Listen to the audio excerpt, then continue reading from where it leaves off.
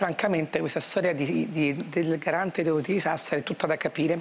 Questo signore che vedete su quella spiaggia, già pronto, con tutto, vedi, cioè tutte le cose per meditare, eh, penso che sia già in posizione meditativa, che c'ha lì davanti un mortaio. Insomma, comunque questo signore qui è convinto che il Covid si possa abbattere con una vita sana, respirando, meditando.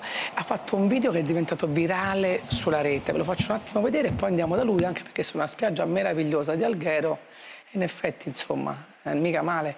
Ehm, fatemi vedere il, il video prima un attimo, così capiamo che cosa ha fatto, ha detto soprattutto.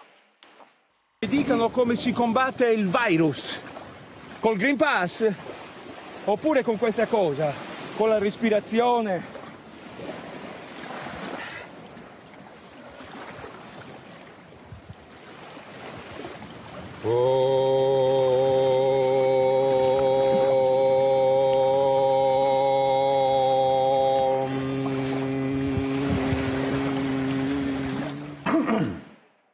Allora, non so se già mi sente il nostro Antonello Unida, ha 59 anni, se ho capito bene, ha in tasca una laurea in scienze e tecnologia psicologica, fa il bancario, ma da due anni ha un ruolo molto importante, è garante dei detenuti di Sassari, però non entra in carcere, pensate un po', dal 14 ottobre perché non ha il Green Pass, non è vaccinato e non vuol farsi tamponi a spese tue, sue. È collegato dal Ghero su una bellissima spiaggia che si chiama la spiaggia delle Bombarde, meravigliosa chef Geremica qua che adora la Sardegna ed è molto invidioso, caro Antonello Unida. Eh, come sta? Beh, sto benissimo, quando sto a contatto con la natura, insomma, si sta solo bene. Eh. No, Buongiorno a tutti. Sapesse quanto sono d'accordo con lei, amerei passare la vita al mare, però vengo a lavorare tutte le mattine e venendo a lavorare mostro il mio Green Pass. Allora mi chiedevo, lei come fa? Perché non andare ai detenuti è una cosa molto grave, non tanto per lei ma per i detenuti, perché io penso che abbiano gran bisogno di un, un confronto e anche di avere qualcuno che si prenda cura dei loro diritti. E poi c'è anche il tema della banca, ma andiamoci con, con calma. Lei davvero pensa che piuttosto che vaccinarsi basta fare una vita sana come fa lei per non prendersi il Covid? Allora, eh, innanzitutto vi ringrazio per questa opportunità che mi si sta dando per chiarire alcuni miei concetti fondamentali. Io credo nella scienza, credo nei vaccini, Ah. E, insomma, che dire, eh, oltre, dire, oltre dire che ci si deve vaccinare, io ritengo dopo circa un anno e mezzo che bisognerebbe lanciare qualche altro messaggio. Eh, come, come, dire, anche questo, perché no? No, no, ma eh, sull'oltre sono d'accordo pure io, sì. Antonello. L'importante è oltre, bisogna esatto. vaccinarsi esatto. e poi bisogna fare anche certo, una vita certo. sana.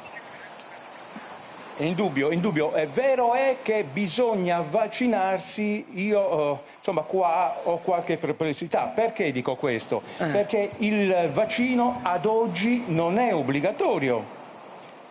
E, e, quindi io ne prendo atto. Vero è che per entrare, come dicevate prima, come dicevate prima eh, per entrare dentro la struttura penitenziaria bisogna avere il Green Pass e quindi automaticamente con i tamponi.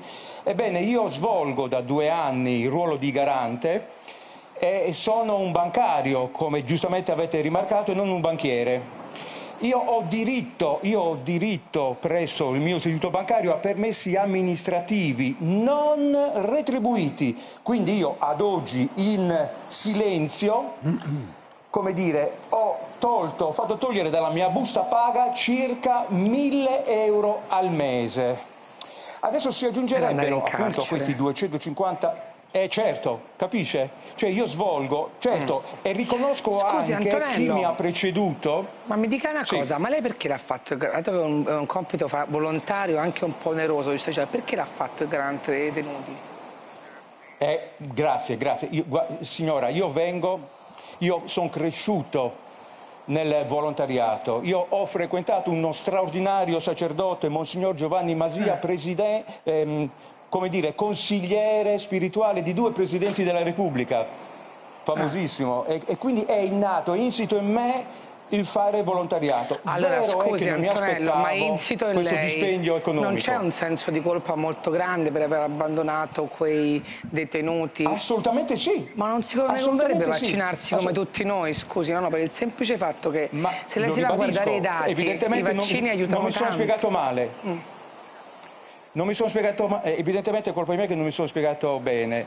Io riconosco il vaccino, lo Stato mi dice che non è obbligatorio, nel momento stesso in cui vado a vaccinarmi devo firmare una liberatoria dove esula la responsabilità di chi mi sta mettendo il vaccino in corpo e allora qua ho due neuroni che cerco di far ragionare mm. e di dire va bene, i tamponi, io chiedo e io chiedo umilmente che mi si venga in aiuto e questo è stato recepito, è una notizia fresca, alcuni miei amici imprenditori, io infatti entrerò in struttura giovedì, venerdì prossimo, ah, perché degli amici imprenditori, esatto, esatto, esatto.